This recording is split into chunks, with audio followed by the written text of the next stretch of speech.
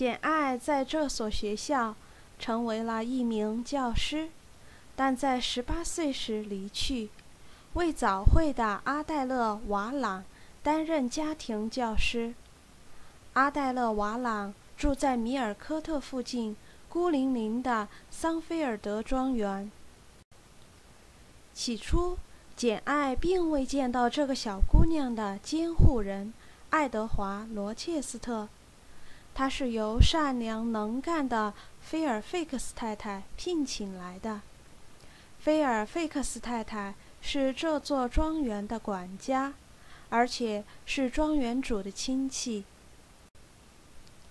简对庄园这种宁静的乡间生活，以及他那富有想象力的小学生，都颇为满意。但菲尔费克斯太太警告他。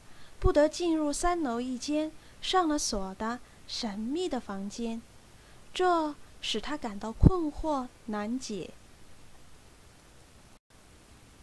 一天，简听见一阵令人毛骨悚然的尖笑声从那个房间里传出来，但菲尔菲克斯太太仰称这狂笑声是格雷斯·普尔发出的。他是一个相当矮胖、不讨人喜欢的仆人。